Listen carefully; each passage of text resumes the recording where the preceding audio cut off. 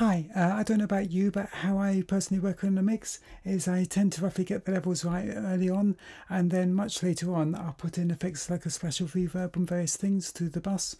And the way uh, reverb works as an insert effect, at least in Reaper, is if you were to paste on some reverb like that, you'd have this nice uh, wet dry mix knob, which is useful, and it stays at a constant volume, which you can hear like this.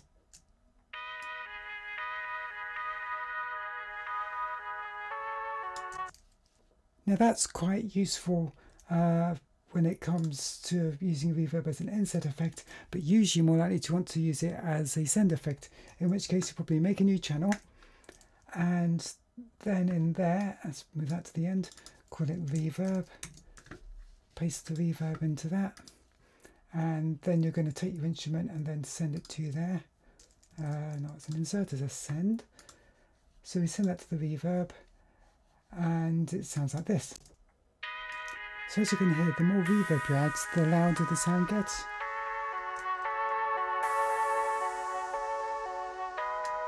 So that kind of ruins your whole levels and you have to redo them. So there's a way around this uh, that BBC engineers worked out a long time ago. Someone wrote an article about this in Sound on Sound. It's really neat. And I've read the article, figured out how to do it in Reaper. So, okay, you've made a reverb channel. What you then do is uh, we'll just get rid of the, uh, the actual reverb effect. We don't need that in this channel. We'll make another channel within it and another. Right, so the first of these channels has the reverb.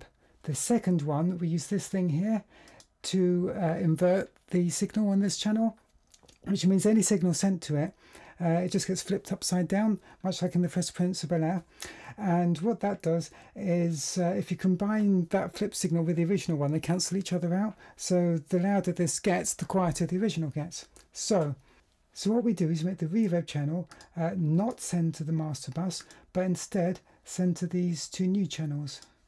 One and two.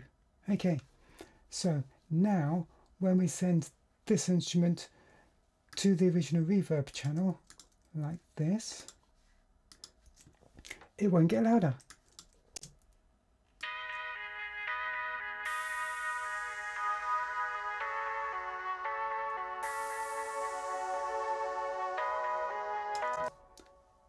So now on your reverb bus, uh, you can send things to it as loud as quietly as you want and they get drenched in more reverb but they don't get louder so your original levels are quite safe which I think is a really neat trick and that's what I'm going to do from now on.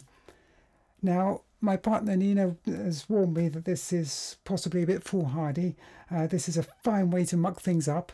Nevertheless, I think for me personally this is going to save me time so I'm going to persist with it.